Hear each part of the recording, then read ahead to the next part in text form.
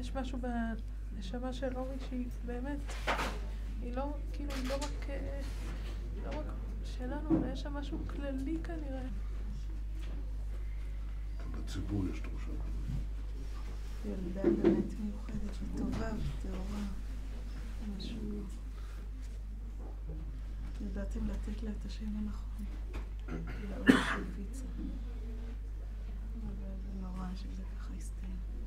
העביר לי המסגיר הצבאי פתק שחקירת השב"כ עולה שהמניע היה לאומני. כמובן לא מפתיע, אבל רציתי שתדעו את זה.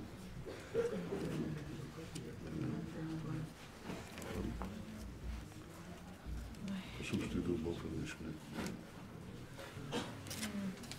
בדקו את זה בצורה יסודית, אף על פי שזה נראה כמובן מאליו, ומובן מאליו מסתבר שהוא